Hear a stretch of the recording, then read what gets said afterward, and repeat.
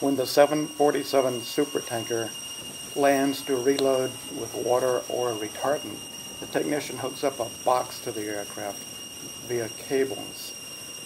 The box can control and monitor the liquid as it goes into the aircraft. The compressed air is loaded onto the aircraft at the other end of the ship. Here's what the cable looks like. And it's got a pretty sophisticated plug on each end of the two cables.